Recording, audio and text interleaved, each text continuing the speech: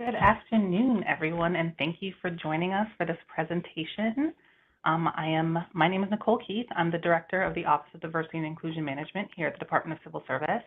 Um, I am pleased to be joined by two of my colleagues in the Staffing Services Division who are going to walk us through rewarding careers in public service and uh, kind of an overview of the civil service merit system. So um, I'll turn things over to them in just a minute, but as a quick reminder to anybody who may have joined in the past few minutes and haven't seen my um, message in the chat box, if you have any questions, send them to me in the chat box, um, and we will do everything that we can to answer as many as we can um, before signing off today. Uh, so without further ado, I will turn things over to Darlene and Bridget, um, and I'm looking forward to hearing what you all have to share with us. Good afternoon, everyone. My name is Darlene Anderson, and I'm here with my colleague Bridget Ariel. We work for the New York State Department of Civil Service, which is the central human resources agency for New York State.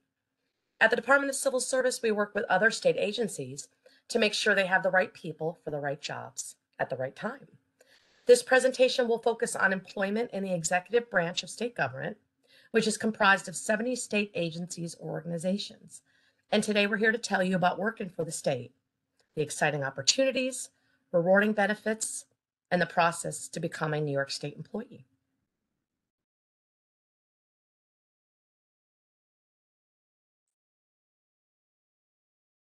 So let's get started. There are a lot of reasons to work for New York State. Are you looking for a way to make a difference in the lives of others? Public service matters. As a state employee, you will join a diverse and dedicated workforce and play a vital role in providing essential services to the individuals of our great Empire State. If you haven't yet thought of New York State as an employer of choice, let me give you some food for thought. Did you know that New York State hires people to work in the areas of environmental conservation, health and human services, and transportation, just to name a few? The state employs approximately 150,000 people in many different occupations, ranging from plow drivers to first responders, engineers, nurses, research scientists, and many more. New York State has opportunities and career paths for everyone, regardless of your education or experience. And also, if you are thinking of returning to state service, you may want to visit uh, Civil Services website for additional information. New York State is considered one employer, so once you're working for the state, you can transfer to other titles and agencies, and you have opportunities for promotion as well. While Albany is the home of our state government, did you know that more than 70% of positions are located outside the Albany area? The three most concentrated areas of employment outside of the Capital District are New York City, Buffalo, and the Syracuse and Binghamton region. New York State jobs also promote great work life balance. We have flexible work schedules, world class benefit packages, and other incentives that facilitate a high quality of life both in and out of the office. And state jobs pay better than you think. State salaries are competitive with the private sector. Plus, there are great health benefits that add to your total compensation package. Full-time employees of New York State may have federal direct loans forgiven after 10 years of public service through the Federal Public Service Loan Forgiveness Program. New Yorkers who have successfully qualified for and applied to the program have received an average of $61,402 in debt relief. We need new, energetic, and dynamic candidates to consider the state of New York as an employer of choice. New York State has positions in almost any career field you can think of, providing job opportunities for a broad range of backgrounds. Not a political science major? Not a problem. There are state jobs suited to every interest and skill, from art history to zoology. If you have minimum levels of education or experience and are interested in helping our most vulnerable citizens, New York State has opportunities for you. There are also a wide variety of entry level clerical and security positions. All of these positions require minimum education or experience. And once you're employed in these titles, you will receive the training to perform the job. If you have a degree in a particular area, like computer science, You may want to consider our information technology positions. New York State also has opportunity for those with professional certifications or licensing, including engineers, nurses, and also teachers. Like I said, New York State has opportunities for everyone. We strongly believe that the best workforce is a diverse workforce, and we actively seek qualified individuals interested in public service careers. So, to understand how New York State positions are filled, you'll need to understand the different position classifications and the requirements to be considered for those positions. The first is our competitive class positions that make up 80% of the state workforce. These type of positions require that you take and pass a test, and the hiring agency will use a list of passing candidates in score order to fill these positions. Most positions you will see are competitive, like ITS, office assistant, or the recently announced labor services representative, which requires a bachelor's degree to qualify. We also have non competitive class positions that make up about 15% of our state workforce. These positions do not require a written test, but there is an examination of your qualifications against the qualifications needed for positions, like for a mechanic position. And we also have the labor class positions that make up about 3% of our state workforce. Labor class does not mean you're working for the Department of Labor. These are labor positions used in a variety of agencies. They do not require a test, However, candidates must be physically able to perform the duties assigned, like for a cleaner position. We also have exempt class positions that make up about 2% of our state workforce. They do not require a test. These are positions that are appointed by the governor or the appointing authority and include positions like commissioners. So to recap, the type of positions determines how it is filled. For competitive positions, they require a written exam.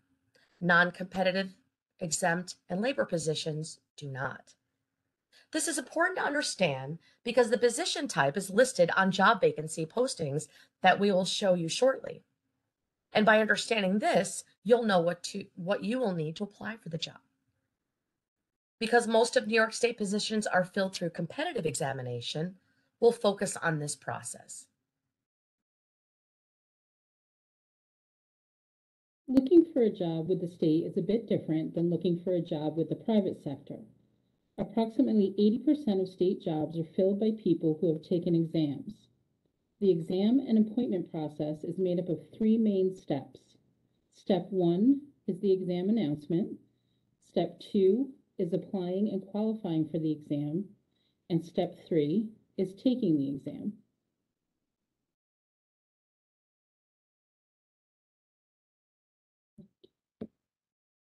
All exam announcements can be found online on the Department of Civil Service website, which is www.cs for civil service, .ny for New York, .gov, short for government. You can also sign up on our website to receive email notifications when new exam announcements are issued. Make sure you sign up using your personal email address, not just your work or school email. Or if you have more than one email address, please be sure to sign up under all of your email addresses so that you never miss hearing about an opportunity to take an exam. On the screen, you will see the announcement for the Disaster Preparedness Assistant. You'll notice that all exam announcements have the same format and it has all of the information you will need to, to apply. You'll see the exam title and salary, the exam date, the application deadline, the qualifications, the type of exam, and title information. We recommend that you print out a copy of the exam announcement to use when you are applying for the exam and preparing for the test. Just like you can get the exam announcement online, you can submit your application online too. Part of the exam process is reading the announcement completely, thoroughly filling out your application to show that you meet the minimum, minimum qualifications for the exam, and submitting your application before the deadline. Please be sure to follow the application instructions. An incomplete application could mean a missed job opportunity. If we need more information to review your application, we'll contact you. Otherwise, you'll receive instructions on how to take the test. So you've successfully applied. The next step is taking the exam. Exams are held based on recruitment needs. Most examinations are held periodically, like once a year or once every four years, and some are held on a continuous recruitment basis. This means that applications are accepted on an ongoing basis and passing candidates are added to the list continuously. So, what should you candidates know about the different types of exams offered? Here are some examples of the types of exams we offer. Written exams are what most people probably think of as a state exam. They are held at various locations throughout the state, usually on Saturdays at local schools or colleges, and you need to bring a number two pencil to complete the bubble sheet with your correct answers. These tests are used for any title where there are certain skill sets that need to be tested. For example, written tests are used for Office Assistant 1 titles, and those candidates may be tested for areas like name and number checking and working with others. An evaluation of training and experience test doesn't feel like an exam because you're filling out a detailed questionnaire with your education and work experience. But this is how you get your exam score.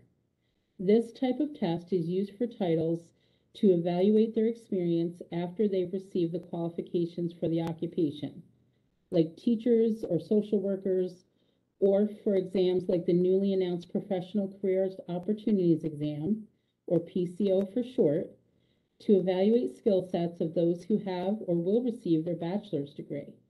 We'll talk more about this exam shortly. A performance exam, on the other hand, is used to demonstrate that a candidate can reach a specific performance level like a typing test. And lastly, an oral exam is used for positions like our lottery marketing representatives who have face-to-face communication with lottery retailers to market their products. The exam requires the candidate to show their ability to think on their feet, make sound judgments, and present ideas clearly and effectively. A proficiency test is used for positions where the primary function is to provide services in a language other than English. These positions have what's called a language parenthetic. The proficiency test will determine the candidate's ability to speak and or write in a particular language. There are three different levels of proficiency that may be needed based on the job requirements of the position. Level one tests the ability to have simple routine conversations, provide basic information, or assist customers to fill out a form or access services. For example, an office assistant one at a front desk.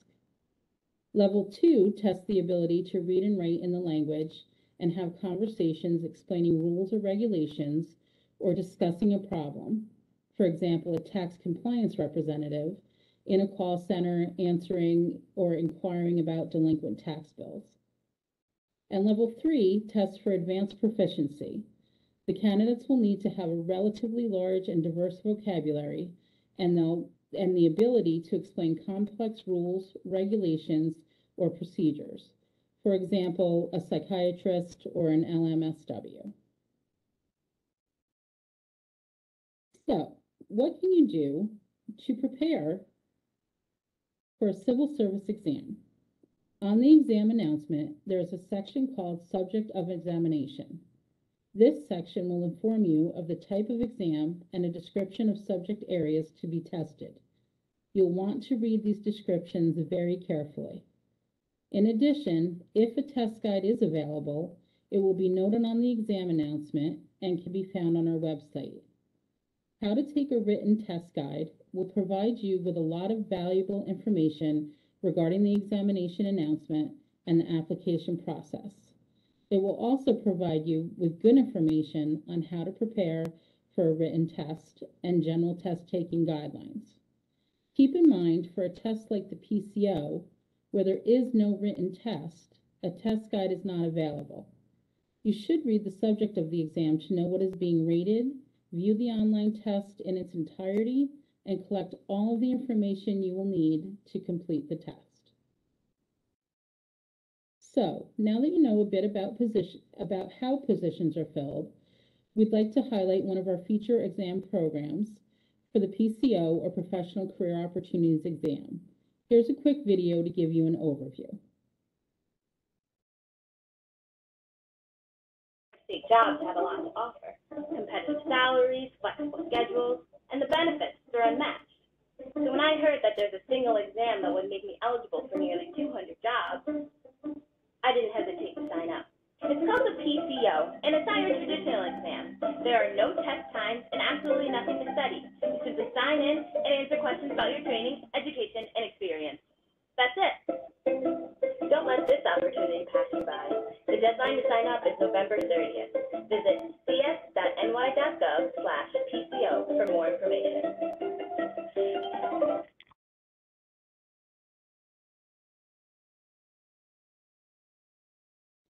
As the video mentioned, the PCO fills, fills nearly 200 different titles.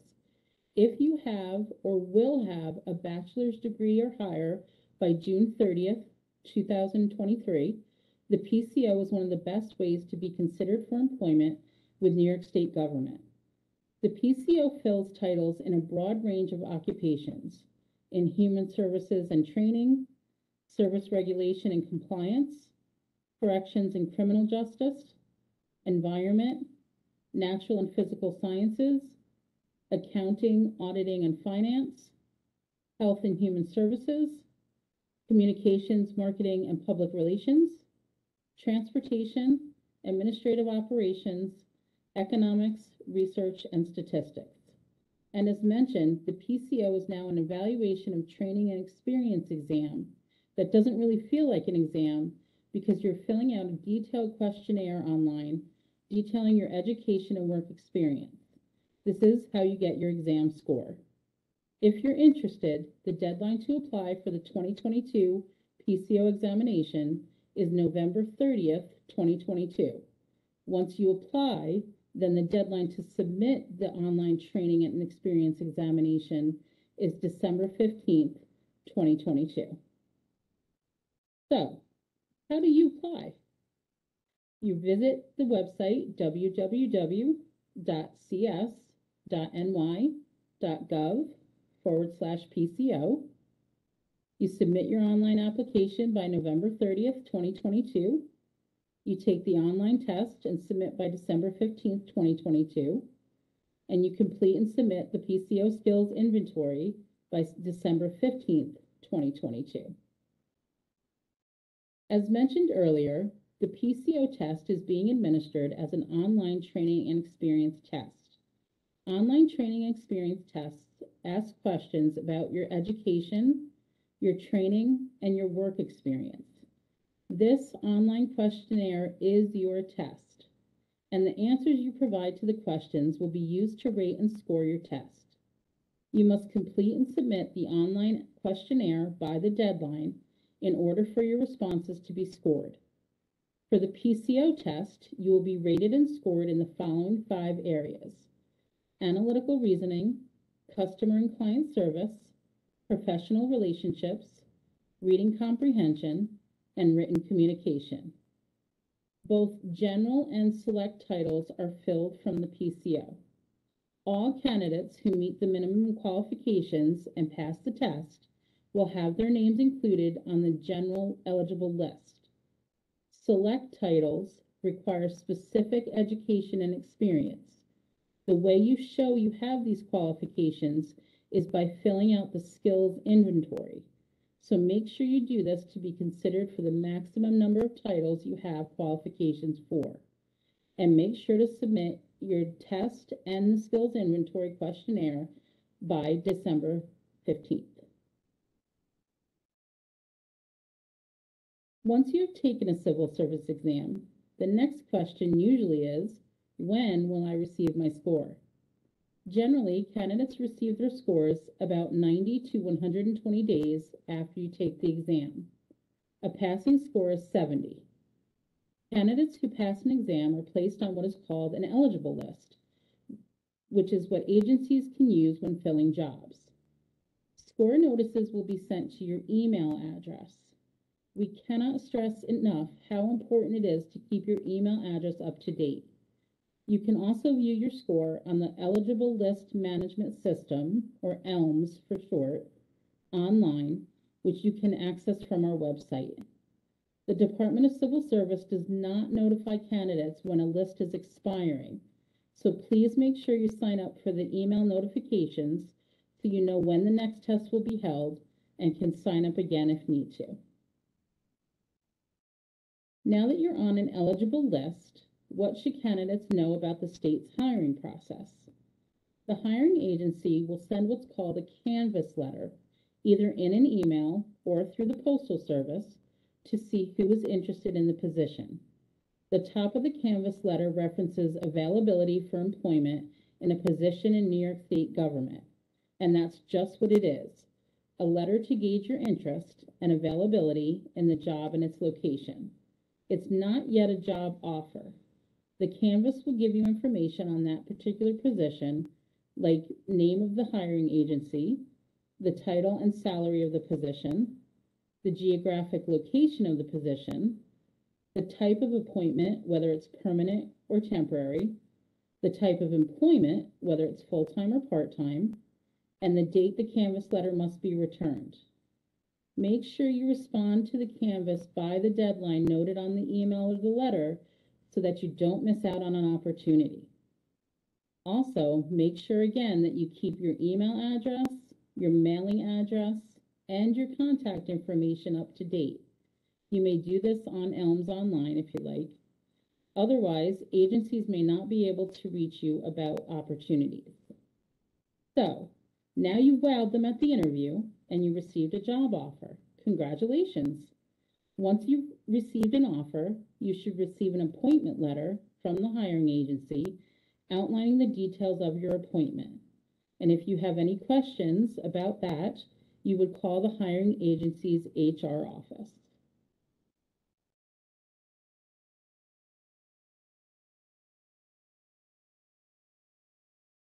So, now that you know the exam and hiring process, let's talk about some of our featured programs. The first one is the governor's program to hire individuals and veterans with disabilities. This consists of two specialized programs that place individuals with disabilities in state jobs without taking a written exam. Positions normally filled through competitive examination can be filled through the appointment of qualified persons with disabilities. A formal application and medical evaluation may be required for certification. We also have the Veterans Temporary Hiring Program, which provi- provides a centralized location for qualifying veterans to submit up to date employment, submit employment preferences, and upload a resume. The state uses qualified post 9 11 veterans to fill temporary vacancies rather than using temporary employment agencies. Opportunities exist in areas such as customer service, parks and recreation, construction and highway maintenance, and disaster response. And for college students interested in learning firsthand the value of a career in public service, the New York Leaders Student Intern Program provides students with access to hundreds of state government internships each year. This online process allows a student to submit an application, upload a resume, and select preferred internships. These internships are paid and unpaid and are available across the state and throughout the school year. The spring 2023 application period runs from October 1st, 2022 through December 22nd, 2022. So now that you understand the exam and hiring process, we want to give you some useful information that will help you with your career search. Please visit the Department of Civil Service website to obtain information on state examinations, and don't forget to sign up for email notifications. For more detailed information on the hiring process, you can also read the FAQs posted on our website.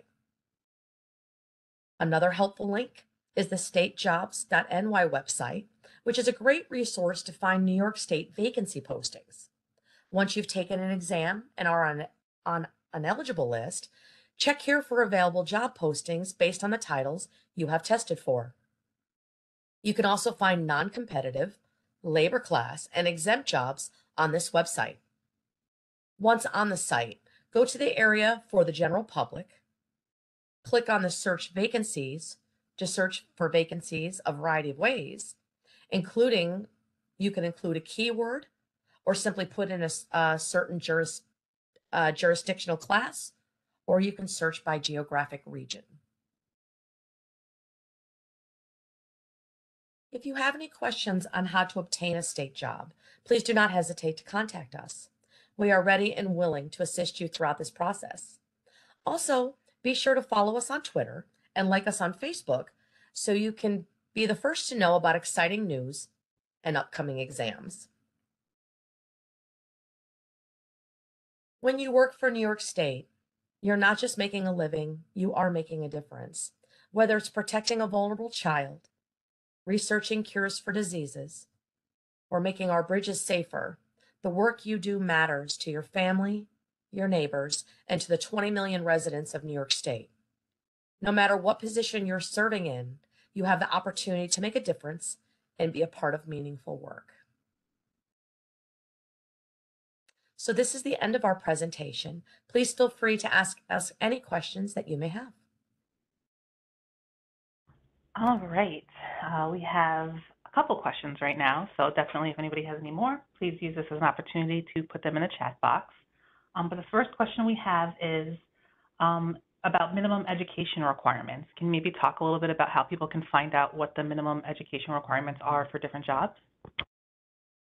Sure. The job posting will um, describe that it's an entirety.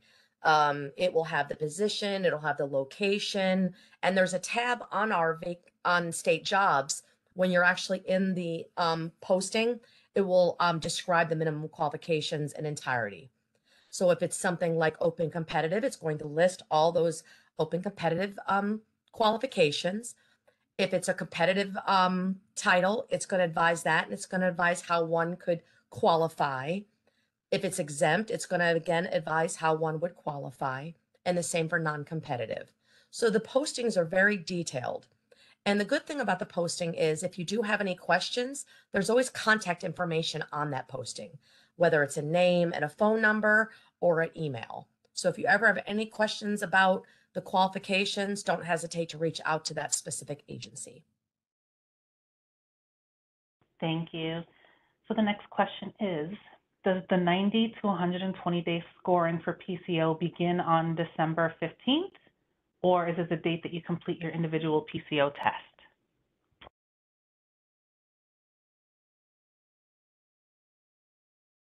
It's going to be um, probably the, the the end date. Excuse me. So yes, once the exam is finished, then it does take approximately 90 to 20 days, and that is an average. Um, sometimes it may take a bit more, but yes, that'll be after the end of the exam date. Thank you. And how long do eligible lists stay active? Uh, in part B to this question, uh, how often would an applicant have to retake the PCO? Sure. Um, typically, uh, lists are good for four years. So, um, uh, unless a new exam is held, uh, typically the PCO is given every four years, and lists are good for that duration. In the event that the exam is held sooner than four years, after a certain period of time, the old list will expire and the new list will um, take its place. All right, uh, the next question says, my understanding is you have to score 100% on the PCO exam. Given the new format, how is it possible to ensure that you get 100? Well, that's a great question. Um, I'm not really uh, as the as the exam is um, how do I say? It's all going to depend on your education and experience. Obviously, um, we can't really um, tell the details here on how um, everything is rated and scored. Um, but depending on your length of education and your length of experience, there may be opportunities to get 100. My advice to everyone um, listening here is to be as detailed as possible. The PCO announcement does um, advise that you're going to want to have all your information readily available. So maybe the dates that you, you know, all your types of degrees, the dates that um, you graduated, all your experience. You're just going to want to be detailed as possible as you're um, answering um, all the questions on that exam. Thank you. Next question is, after applying, when do we take the exam? I applied, but there's nothing for the exam yet. I'm assuming they're speaking about the PCO. Bridget, would you like to answer this one? Sure. Um, so once you have applied, when you go back into that screen again, when you log back in with your personal ny.gov ID to where you applied, um, it is a little confusing for some folks, so it's it's been been a question we've getting a lot, and we certainly understand. Um, but what you'll see again is where it says application, it'll be number one, um, again, where it says application. And then underneath that is where it will say um, exam is number two and the, the PCO skills inventory is number three. Those tabs should, once you've applied and paid for the exam, those tabs should be accessible for you. So you can start the exam at any time after that. You just have to go back to that page, click on number two to start the exam, and you can start that process. So summarize this question, but is there guidance for people that might be completing the PCO and maybe coming up against some technical difficulties or getting an error message?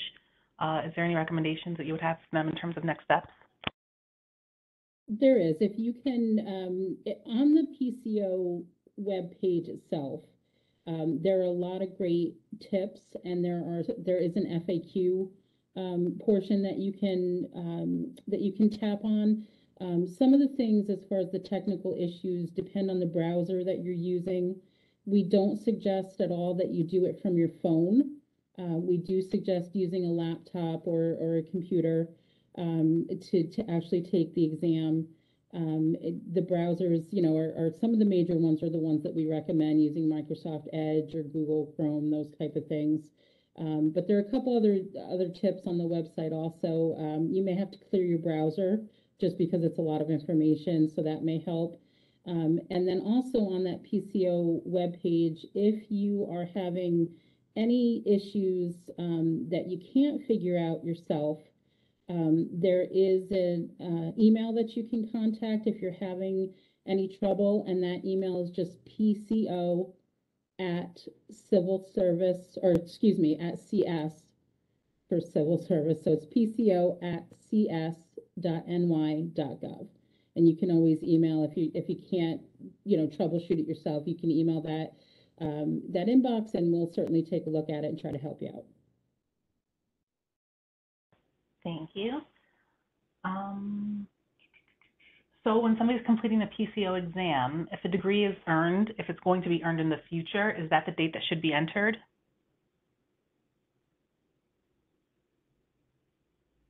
Yes, on the application s- section, you can, you can fill in still if it's, if it's a future date, as long as it's gonna be on or before that June thirtieth, twenty twenty-three date.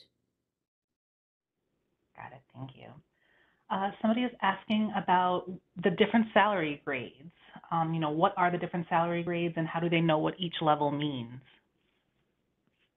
Certainly, why don't you do, take that one for me? Sure. So uh, it's all depending on the title and the position is how um, the salaries are classified. So if you have a question, the salaries are always going to be listed on every exam announcement, unless um, um, like the PCO, um, there may be some different grades on there. So you may have uh, different um, salaries on there.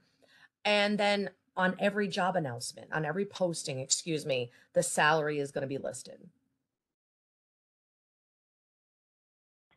Thank you. So is the PCO program considered competitive? It is. It is. All the titles filled from the PCO are competitive. Folks are going in, they're applying for this examination, they're competing for an exam, they're taking a written exam in a training um and experience format, but it is considered a all those titles are uh, filled by the PCO and all are considered competitive titles. Thank you. Um, somebody asked if there is a way to filter what jobs have training included in them. I would say that any position that has a trainee title is going is if you look at the qualifications and look at the job uh, description, it will let you know there that is going to be um, it's going to be filled through a traineeship. You may start as a trainee one or possibly a trainee two. And if you ever have any questions about a posting and want to know about the on the job training, you can always look through the posting and look through all the different, you know, description of the position. And again, you always have that phone number or email on each posting if you ever need more questions about that particular position. Thank you. Um, the next question is, what is the tenure track for civil service jobs in general?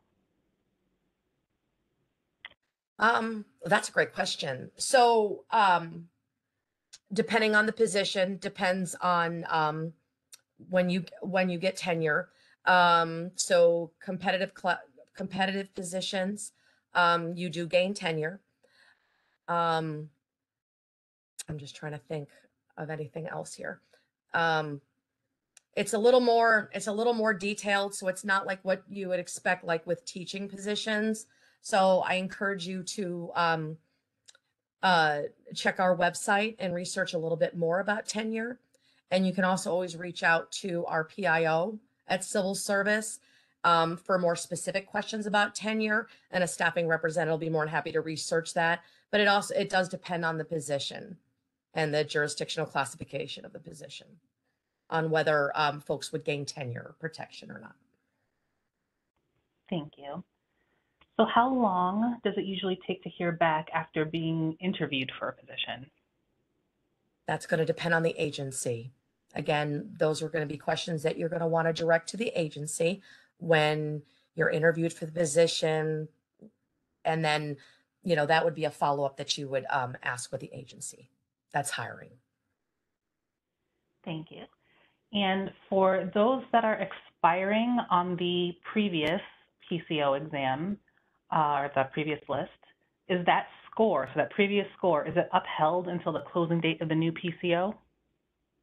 That list will be viable until the new list is established. So once the new list is established, after 30 days, that old list will expire and the new list will be, um, agencies will be able to hire off that new list. So if you're on the PCO right now, you're still okay. Um, and best of luck on the new one if you take it again. Um, somebody asked if you're able to share more information about the new leaders program. The new New The new Leaders program. The new leaders, the internship program or the, I'm so sorry.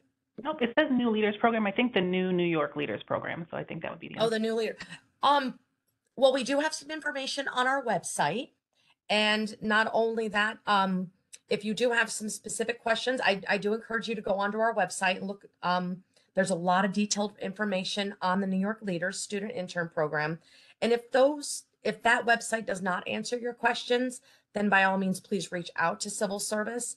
We have staffing representatives that oversee that internship program, and they'll be able to provide you some more um, assistance on your questions. There is an email on the bottom of that page also that you can contact directly for that.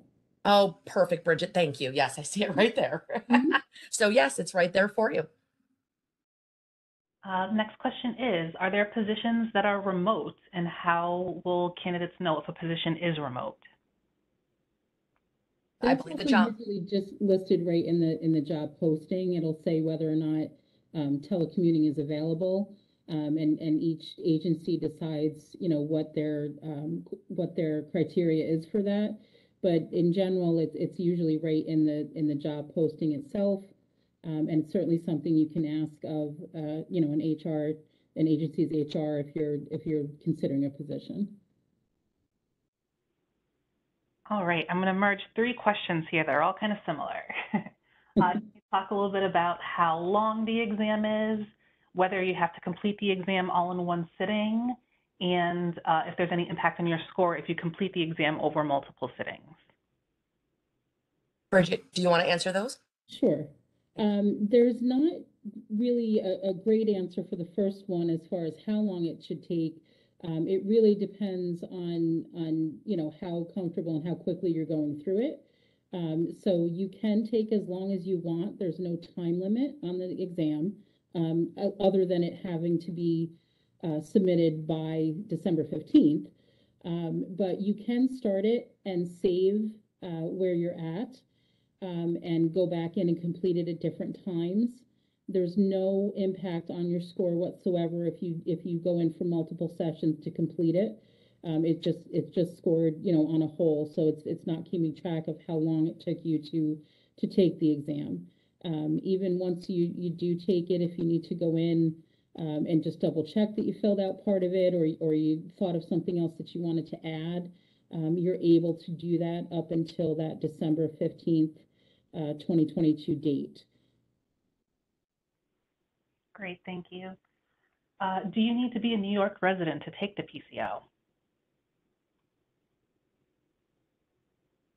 You do not need to be a New York resident to take the PCO.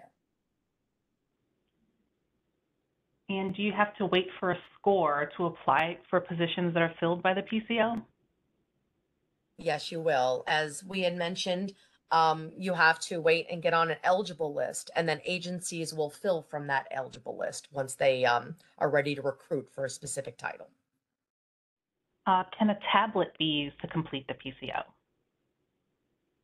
Bridget, do you want to handle this? Um, I don't rec- I don't believe it's recommended, but Bridget, can you It's not- expand on that? It's not recommended. I mean, if that's what you, what you have and you wanna, wanna try, it, you know, it, it's not necessarily gonna hurt anything. Um, so it, it, it may be okay for you. It, it really just depends on the, you know, the, the, again, the browser that you're using and, and its capabilities. Um, so it, it's not something that we recommend, but it's not that you can't do it that way. And if I can actually add to that, if, um, you know, if access to computer equipment or Wi-Fi is an issue for anybody, contact us, um, and we can put you in contact, um, with entities like the, uh, Department of Labor, um, that can make arrangements for you to use equipment to make sure that you get this done. Uh, the next question is, how can you get a waiver on the exam fee? So there are a couple different, um, sorry, I'm just trying to get to where I can view what I want to say about it, but there are a couple different, um, scenarios where the, um, fee could be waived. Um, and so when you're applying, um, doing the application part of it, um, you can, uh, look, um, once you put the exam in, um, and it, you know, it's asking you to verify some of the information. Um, there are those instances where you can check off where you may qualify for the, the fee waiver. Um, that is in the FAQ section on the PCO page. Um, if you're unemployed and primarily, primarily responsible for the support of a household, um, there's a, a box for that. If you are eligible for Medicaid or receiving supplemental social security payments or public assistance of, of any kind, um, as far as the temporary assistance for needy families or family assistance or the safety net assistance, um, or if you're a certified job training participant or partnership, um, in, uh, the Investment Act there, um, you may be eligible to, to select that part of it for the fee waiver. If you are a New York State CSEA representative employee applying for the open and competitive examination, um, that, uh, you can choose that option because they do, uh, they do cover your fee. And lastly, if you're a veteran discharged under honorable conditions from the armed forces of the United States or New York State, and you're applying for that open, and an open competitive exam, you can choose that as well. So, um, as you're filling out that application, they should, it should, there's a section that should show you that about having the, uh, the fee waived, and those would be the four, as of right now, the four criteria that you choose from. Thank you. Uh, next question is, can salaries be negotiated? Um, that's something that you would want to talk to the um, the agency about. It's not a typical process, I will I will say. Um, but there are instances where it's appropriate, and that's something that you would have to talk to the agency about. Um, I, I know, I believe we answered this question, but I'll, I'll ask it again, um, just in case anybody signed on a little bit late. When completing the PCO written test, can it be stopped, saved, and completed at a later time? I'll just jump in and say yes. Um, It is, and I That's would add that when you're going through, please make sure to, to save each section as you're doing it. Um, if y- there's, there's, if you, if you try to go back, um, without saving it, um, sometimes you will get a message depending on the page you're on, but if there's a save option, just save each one so that, um, you're not stuck. And I know I also said that there's not a time limit on the test, and that's true. There's not, there's not a time limit. But if you get up and walk away from your computer, um, or, you know, and you leave it for a certain amount of time, it will, it will eventually log you off also. I, I don't know if it's like twenty minutes or thirty minutes, but, you know, pretty much the same as, as anyone. If you get up and walk away from it, that part may time out. You can still go back in and redo it again. Um, but that way, if you've saved it, you won't get stuck that way either. All right. Somebody wants to know if there's an age limit uh, when applying for positions. Not at all. Well, you know what? I, I do, I would always look at the exam announcement for, and sometimes there are requirements for like our university police officers, um, and maybe other certain safety and health, um, positions. So I will definitely backtrack. For, for most, there's not an age limit, but for some there may be, just due to, um, the duties of the position. You're gonna wanna read every exam announcement very carefully and then look at the job posting as well. Thank you. Somebody wants to know that if you're hired and you're coming from another government job, will your time transfer into the state job? And that's a great question. Um, that's something that you want to discuss with the hiring agency. Um, it really, with a lot of things, it's always case by case basis. So you're going to want to discuss that with the hiring agency. Depending on the type of government agency you're coming from, um, it just may depend. So you're going to want to discuss that with the hiring agency and they'll look into that for you and, and make sure that you're aware of everything pr- prior to accepting the position. And they'll be able to answer that for you. I think this next question will give the two of you an opportunity to take a sip of water because I think it's directed towards me without the asker knowing it. Okay. So how is, how is diversity in agencies accomplished through examinations? And what I will say about that is that New York State and the Department of Civil Service is committed to ensuring equity and uh, equity of opportunities for everybody, for all the diverse populations that exist throughout New York State. Um, and one of the things that we are um, adamant about doing is making sure that these opportunities, so exam opportunities and resources and guidance in terms of like how to navigate systems, like we're much like we're having right now, right, are are made available to populations in historically underrepresented and traditionally underserved populations throughout the state. Because the more access that people have to exams, the more opportunities they will have to take advantage of um, employment opportunities. Um, and we have a very robust statewide diversity, equity, and inclusion program.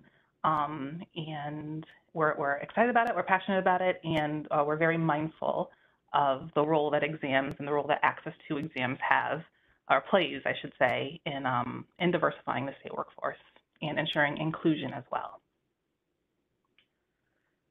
All right. Um, can international students take the PCO?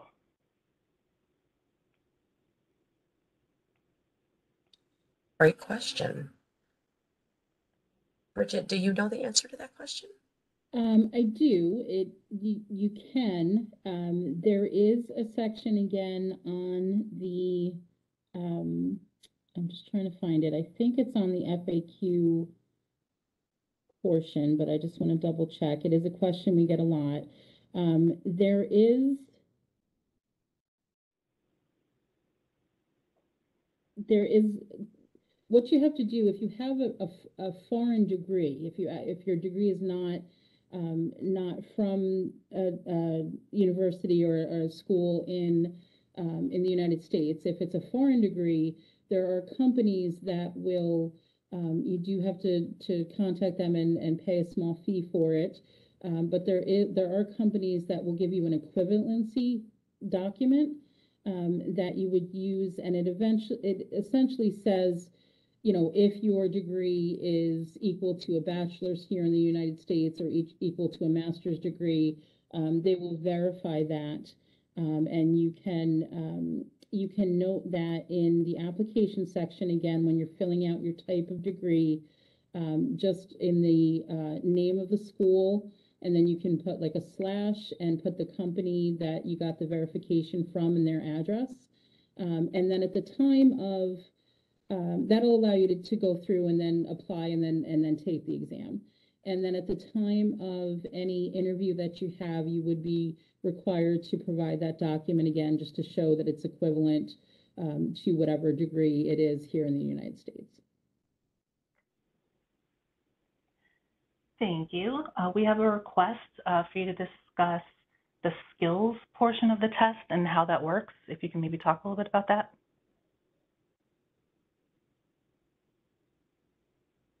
So the, the skills inventory piece of it, um, again, on the PCO webpage, um, there is uh, a list of all the job titles that the, um, that the exam is covering.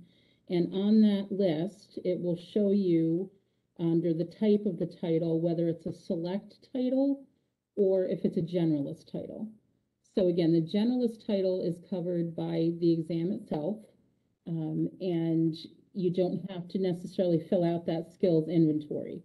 But if you look at the skills inventory, if you have anything that you can fill out for experience um, under that section, that will put you on the select title list for some of those titles that you will qualify for as well.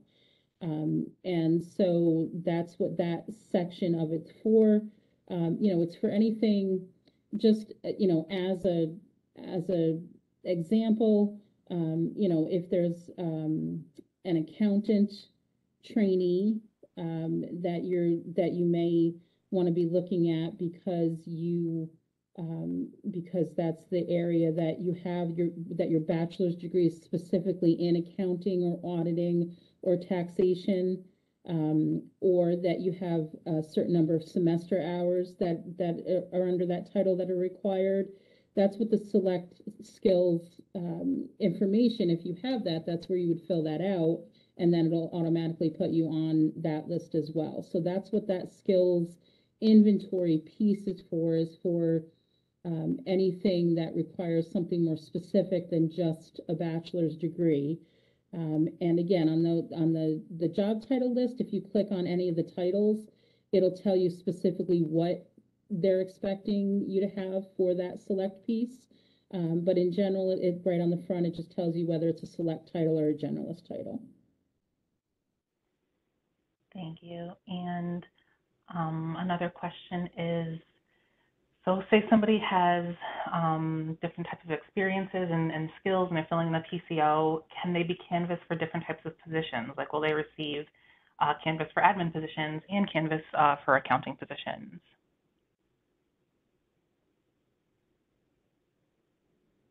It, it's certainly possible. Again, the, the, um, the one title would be a generalist title.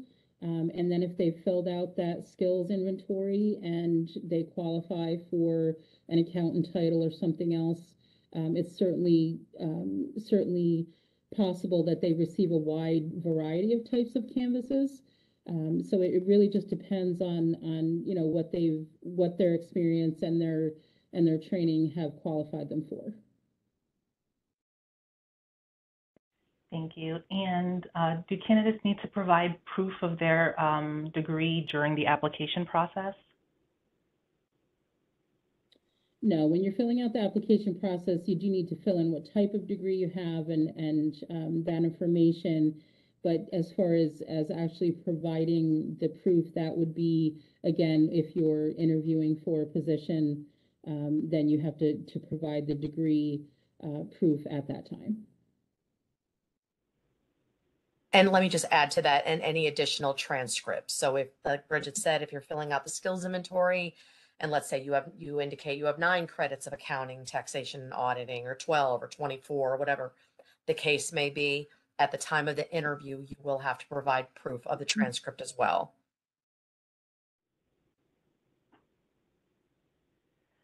So somebody asked, is a perfect score of 100 the only way to get canvass from the list?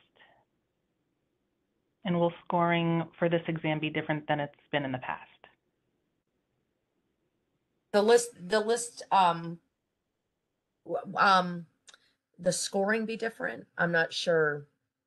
I'm not sure what they mean by this, but I will say is, um, the list is going to be quite large. As we know, the PCO is a very popular, uh, title. However, or excuse me, a popular exam, but however, it really depends on, um, the location, the different positions that an agency may have. They may be able to move through their hundreds pretty quick.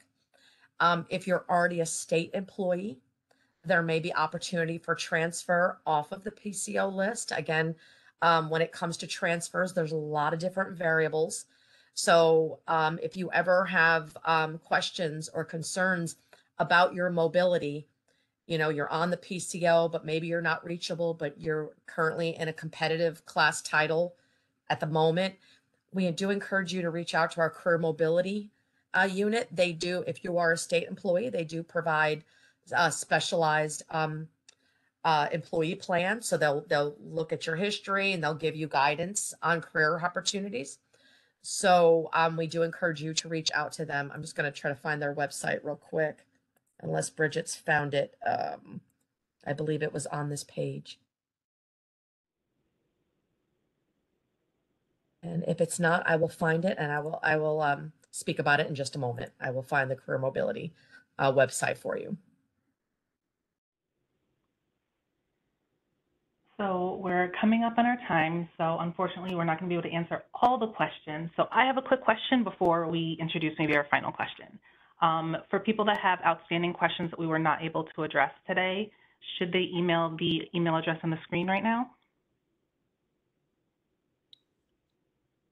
Absolutely. Absolutely. If you have a specific question um, about anything you've heard today, please by all means contact us by that um, with that email, and then that'll filter through to the specific uh, section within um, staffing services to answer your question, whether it's in relate to an eligible list or more um, information on mobility within the state. Um, absolutely, email our questions. We'll be, we'll be more than happy to answer you. A lot of our questions can be answered on cs.ny.gov. As Bridget talked about, there's an FAQ. There's um, it discusses transfers, it discusses eligible lists, rules of three, reinstatement, um, different kinds of leaves if you're within um, the department or excuse me, uh, within the state, uh, working, um, uh, you know, in a competitive class position, non-competitive, whatever the case may be. So we encourage you to visit our website. If the website does not answer your questions, please by all means reach out to us. We'd be more than happy to help you. I did want to let anybody that was interested to know the Career Mobility um, office, their address, the web um, site is cs.ny.gov forward slash CMO for Career Mobility Office forward slash.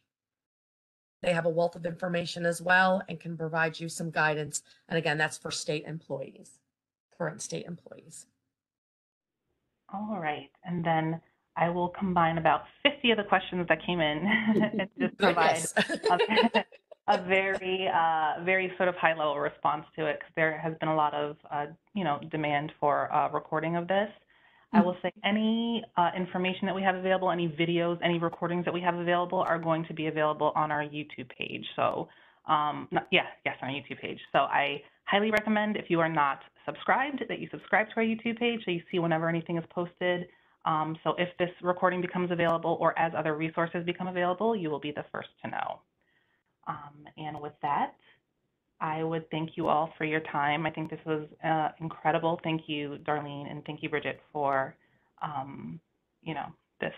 Somebody just said outstanding presentation. Couldn't have said it better myself. An outstanding presentation. And thank you, everybody, for all Thank of your questions. Thank you. Again, weren't able to get to them all, but please uh, email us, and uh, we will do the very best we can to uh, answer all of your questions. So, uh, thank you, and have a good rest of the afternoon. Thanks, everybody. Everyone.